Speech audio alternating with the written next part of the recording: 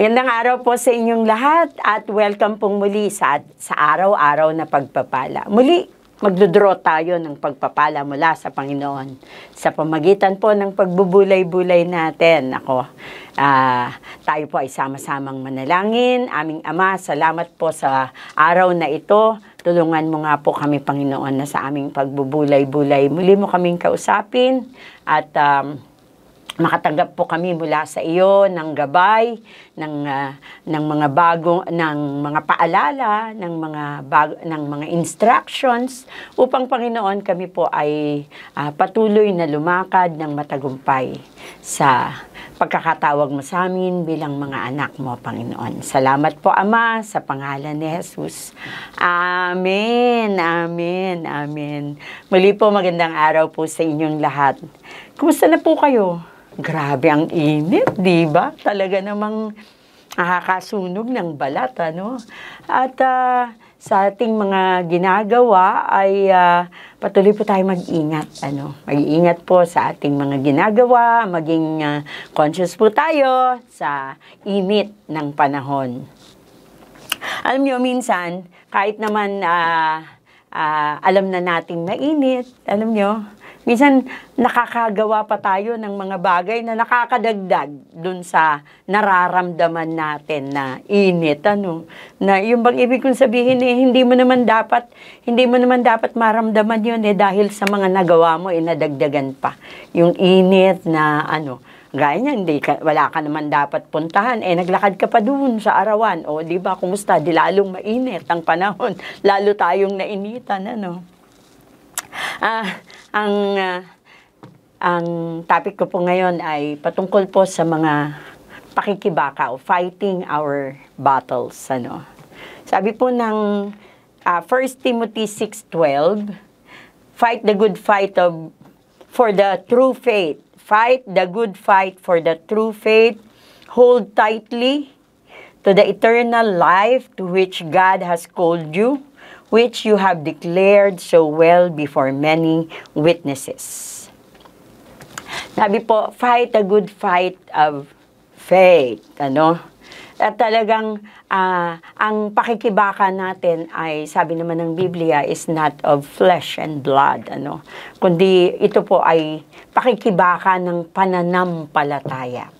Kaya nga po yung inyo pong araw-araw na pakikinig, paki, pagtunghay dito sa araw-araw na pagpapala ay nakakatulong po ito para palaguin ano yung ating pananampalataya para umangat ang level ng ating pananampalataya upang ang pakikibaka natin ay ah, lalong mas maging um, good fight. Bakit good fight? Dahil alam mo na mananalo ka. Alam mong panalo ka dahil sa iyong pananampalataya.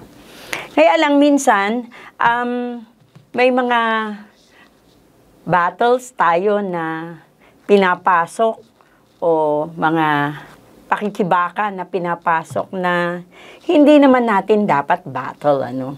Let's see some people in the Bible na pumasok sila sa mga pakikibaka ng pananampalataya because of their own doings. Sometimes yung mga battles na dumarating sa buhay natin ay resulta minsan ng mga decision natin. Kaya nga sabi, sabi ulitin ko yun, sabi doon, fight a good fight of faith. Pa- paano nagkakaroon ng fight of a good fight of faith? Kasi alam mo na ang pananampalataya mo ay sinusubok.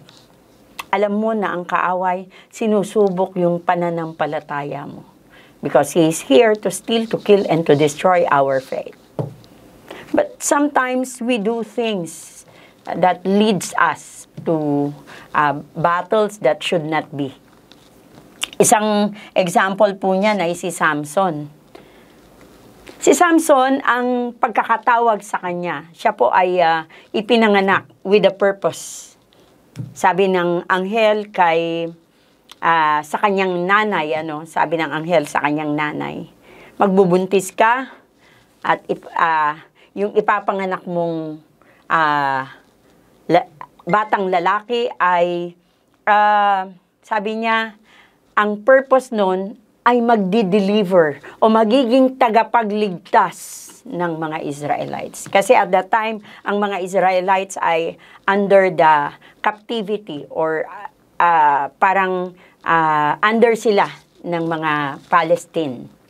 Dahil kung babalikan natin sa kasalanan nila, so ganun po ang nagiging pangyayari kasi sa mga Israelites by then. Hingi sila ng tawad, patatawarin sila, ililigtas sila ng Panginoon. Tapos, along the way, magkakasala uli sila. Tapos, ah, i, na-stir up nila yung anger ng, ng Diyos. Then, ibabalik uli sila sa mga kaaway nila. And at this point, itong panahon po ni ah, Samson, siya po ay, ah, sila po ay under ng Palestine.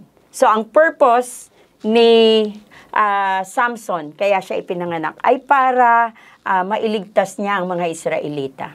But at that time, kung babasahin po natin sa chapter ah, 14 ng ah, Judges, Judges chapter 14. Simulan po natin sa verse 1 pababa. Makikita natin na itong si Samson, ay napakabait.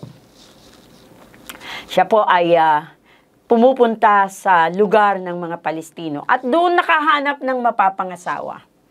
At mula po doon, doon po nagsimula ang kaguluhan ng buhay niya.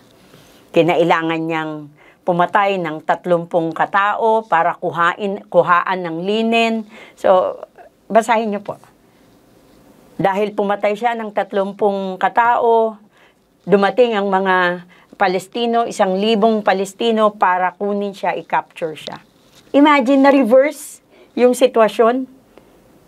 Na, na-reverse yung sitwasyon, imbis na siya ang magpapalaya sa mga Israelites. Ito ang mga Palestino, kinukuha siya para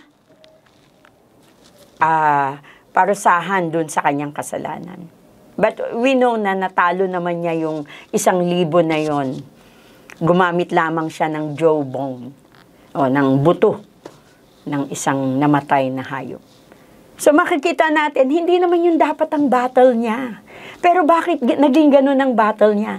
Because he went to the wrong place, mingled with the wrong people. Sometimes um, we, we put ourselves into such kinds of battles, yung mga hindi mo naman dapat alalahanin, hindi mo naman dapat pinuproblema. Pero dahil meron lang tayong naging maling desisyon or maling hakbangin na tayo eh napapasok sa mga ba- bagong sitwasyon. Halimbawa po, tayo eh nabaon sa utang. Or probably dahil may pangangailangan kayo. Pero nahayaan natin, pwede naman, parang dapat nabayaran naman natin. Pero dahil medyo napabayaan natin ng konti, lalong lumalim yung utang natin. Di ba? Ito na naman, bagong, bagong battle na naman yon Wrong relationship.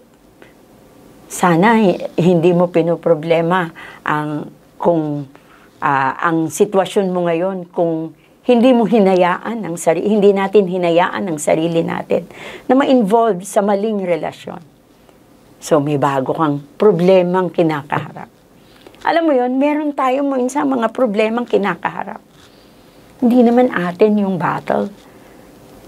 Or dapat hindi ganun ang battle natin. Why? Ma- mapapansin natin na si Samson, he lost his purpose. Losing, uh, losing his purpose, hindi siya naging mindful sa lahat ng mga hakbangin niya. He went sa eh, mga sa Palestine at naging nakipag imbis na magpalaya nais pa niyang magpakasal. So, so na-lost yung purpose niya. So nagkaroon siya ng mga si, si- series of battles na hindi naman dapat yon ang kanyang ginagawa. But with the grace of God, but with the grace of God. 'Di ba sabi nga, Lord, once more, once more. And our God is a God of um, chances. Yan naman ang masarap sa Diyos natin. He's a God of chances. That He helps us to get out of our situation so that muli nating maranasan ang biyaya at kapangyarihan ng Panginoon. Another was uh, Elijah. Ano naman ang problema ni Elijah? Pagkatapos ng dalawang great miracles niya, magpaulan at ma- ma- matalo yung 450 na prophet ni Baal. So, dalawang greatest uh, miracles. Then, sa isang word lamang ng babae, natakot siya. Tumakbo siya, tumakas. 'Di ba? So ano, imbis na ang battle niya ay harapin itong babae na ito o harapin ang mga ang ah, kumbaga magsilbing propeta ng Israel at that time. Tumakas siya. Nagtago. Sabi pa nga niya sa Lord, Lord, tama na, gusto ko nang mamatay, kunin mo na ako. Di ba, nagbago yung, ano niya, yung pananaw niya. Nagbago yung battle niya. Naiba yung focus. Bakit? He lost his identity. He is the prophet of God, the prophet of the living God. Itong tao na to na nagsa, nagsalita, nag-threat ng buhay niya, eh sino ba to? Unbeliever ito. Ito, ito ay lingkod ng Diyos-Diyosan but he is a servant of the living God, the Most High God. Na, dahil sa takot niya, nakalimutan, nawala yung identity niya. And sometimes, tayo rin, we face battles because we lost our identities. We are children of God. Let us walk with victory as children of God. Why? Dahil lang pinaglilingkuran natin ay Diyos na buhay, dakilang Diyos.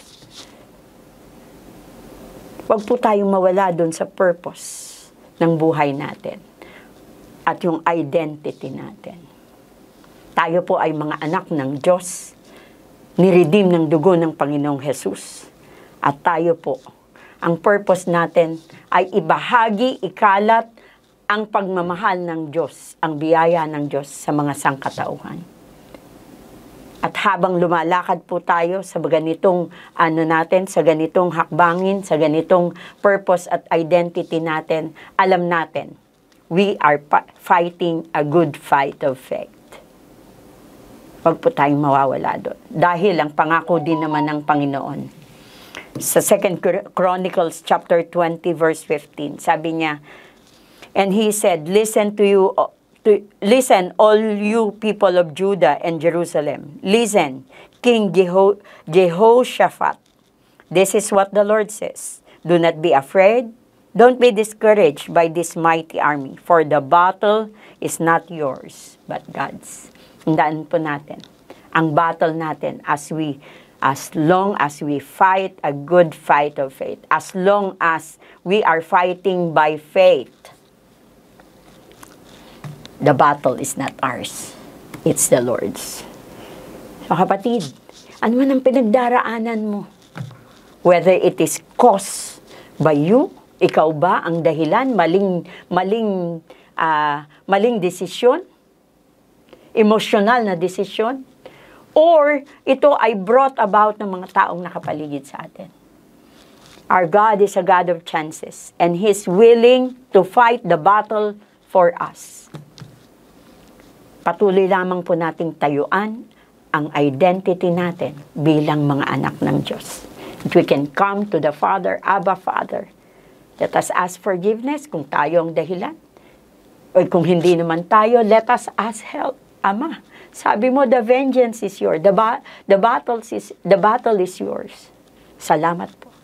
Amen? Because we are destined to become victorious. Sabi po ng sabi ng Panginoon, we are more than conquerors. This battle that we are fighting, hindi atin yan. Lagak natin sa paanan ng Panginoon. And He will fight for us. And we have to choose the right battles. Tamang battle po ang ipagla ang labanan natin. Paano? On bended knees with prayer. Amen?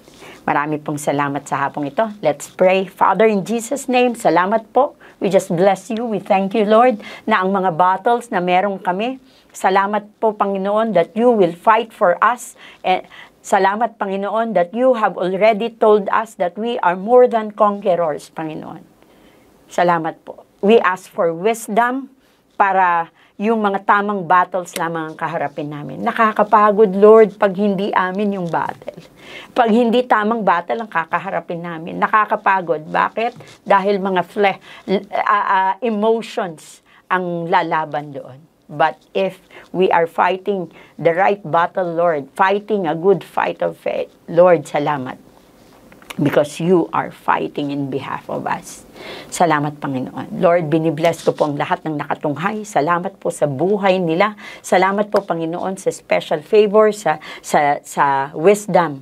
Salamat po sa joy, sa peace, sa tahanan nila, sa salvation sa tahanan nila. Salamat po sa healing sa lahat, Panginoon, ng uh, may sakit na nakatunghay. Father, we thank you and we bless you. In Jesus' name we pray. Amen, amen, amen. God bless you po. Magkita-kita po tayong muli.